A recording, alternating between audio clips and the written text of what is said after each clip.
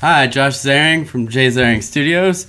Today I'm going to quickly show you how I cut out a person from a green screen uh, portrait and uh, I'm going to be using Topaz Remask but the real thing is uh, of this tutorial is how to get rid of that extra green, the splash. Um, the portrait you're about to see, I was probably about eight feet away from the green screen with a backlight and it's still sometimes a backlight helps a little but it's still got a lot of green on my face so we're just going to run down through that I'm going to try to do this as quickly and as easily as possible.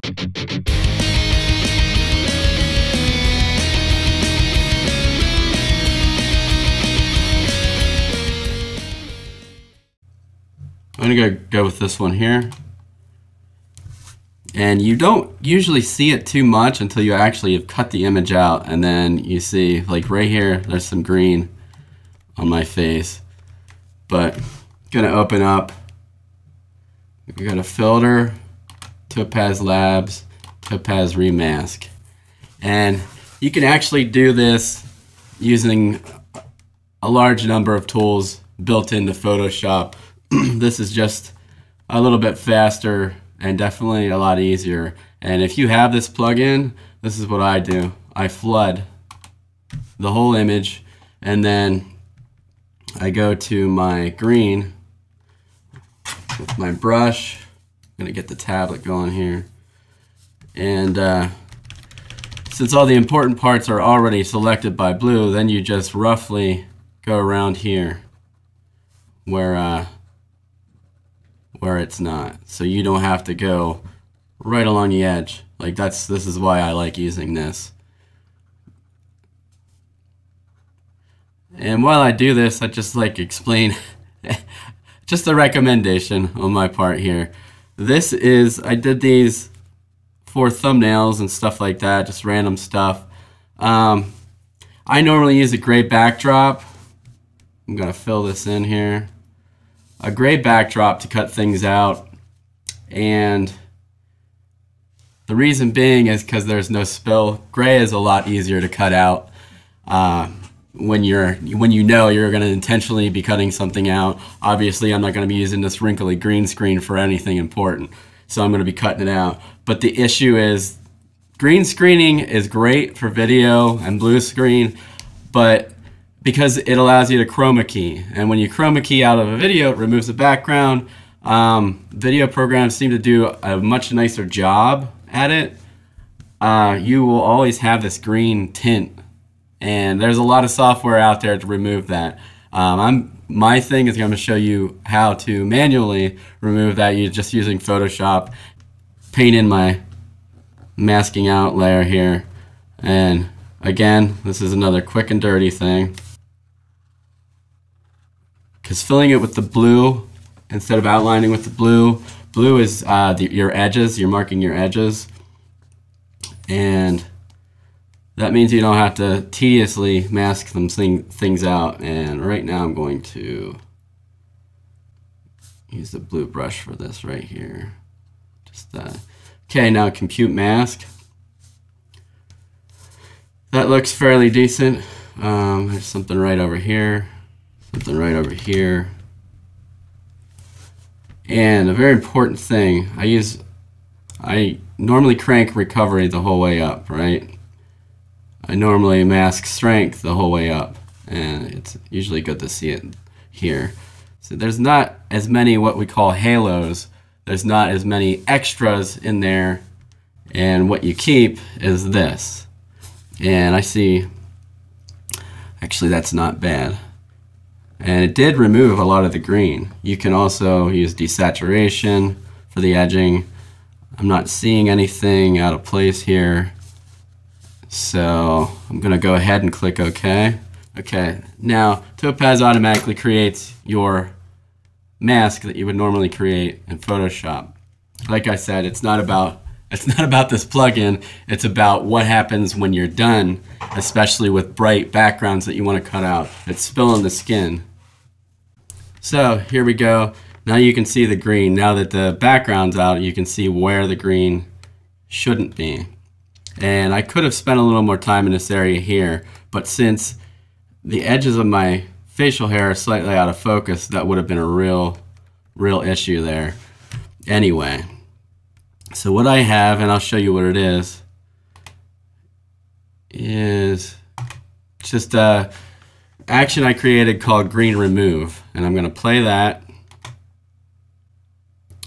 And it gives me my gray background so I can really see the green and removes green three times. It's a little extreme that you have to do this and sometimes I actually duplicate this. Uh, so what it is, is you go and you hue saturation control and hit green and you can see I have it pulled all the way down here. And that's actually it's done three times because uh, some reason it's just really hard to get rid of. And this is probably one of the easiest ways to re remove it. So I'm going to zoom in.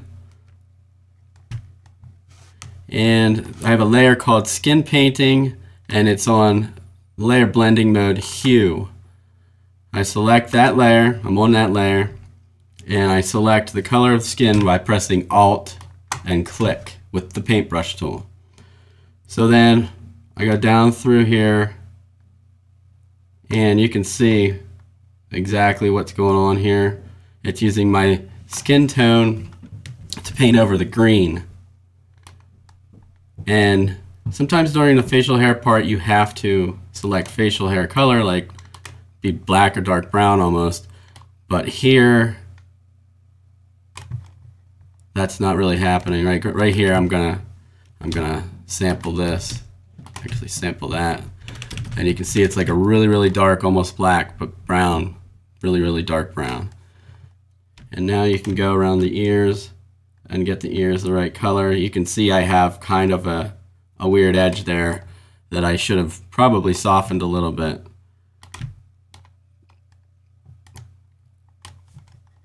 And down here on my neck, you can definitely see that. That's not skin tone. It's basically the yellow skin tone of my face, my skin mixing with the green and making this gnarly color here. So I'm going to sample over here where it's a little light, try that out here, and that's obviously not going to work. So I'm going to try and select this here, darker spot of my face, and paint over this.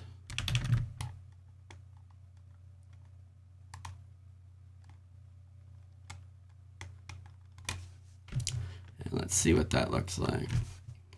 Now another thing you can do is, of course, even even though this is black, it did spill, so I'm just I just select that, and basically what that's doing, since I selected a a gradient of black, uh, it's like a lighter gray. Um, what it, it's basically doing is desaturating, and that's fine because it's black. It's a black shirt.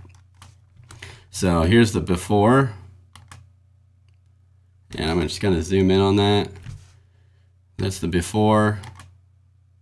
This is the after. Even down along here through my hair, it's gone. And now I see a couple spots here that I can I can fix also. And right here I'm going to select a darker spot. Go along that a little bit.